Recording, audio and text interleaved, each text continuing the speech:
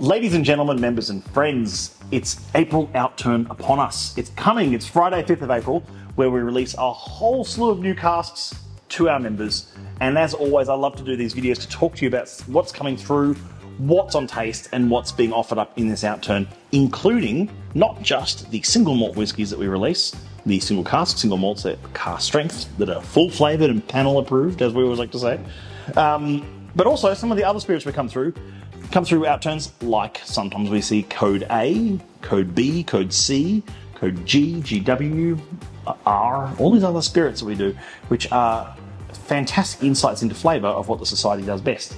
Now, in this case, this is a whiskey, but it's an RW code, so it's a rye whiskey, meaning the predominant part of the mash bill, 51% or higher, is rye.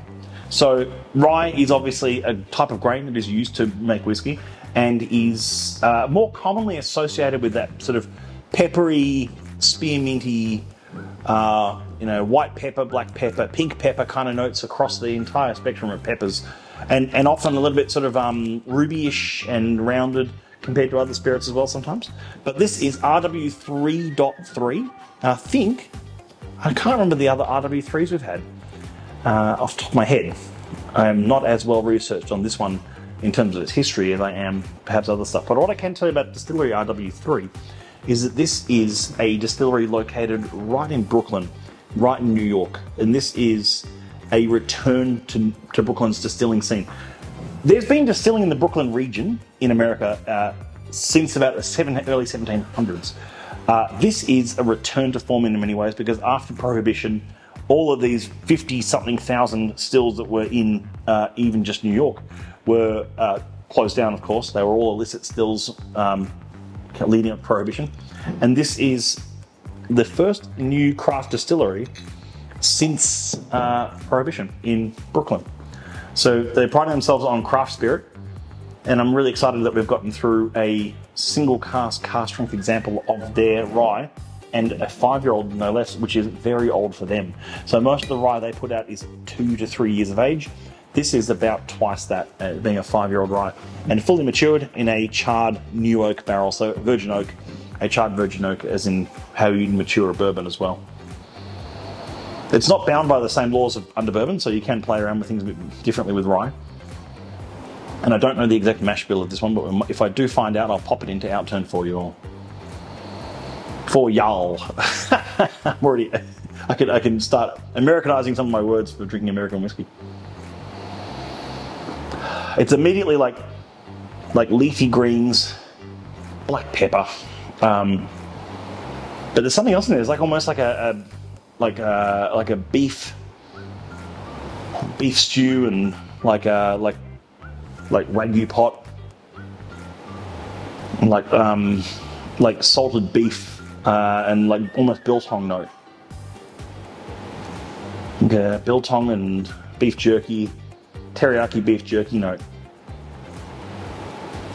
But it's got that classic rye note as well. It's very, it's very, um, it's very whiffy. In, in, in like there's a lot of spirit power coming out of that glass. To, which yeah, it's 60.0 on the dot ABV, so natural cask strength on right on the head of 60.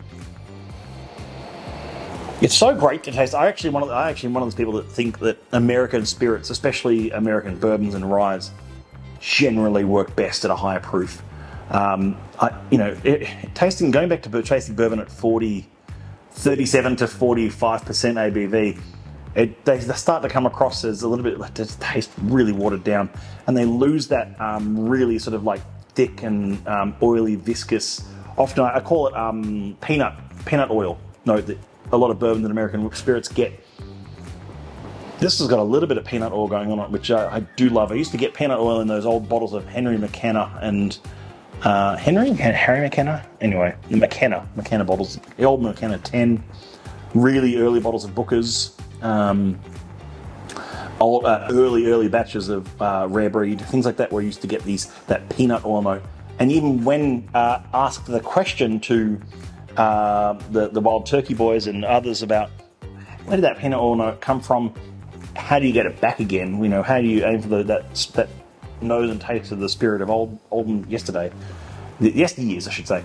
And their answer is, we don't know.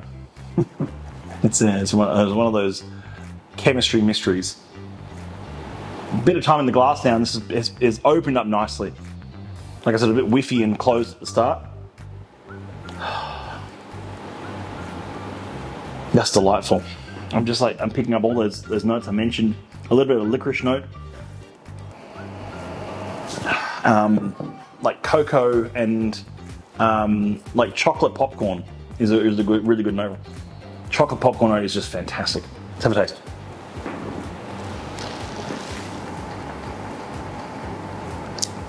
Mm.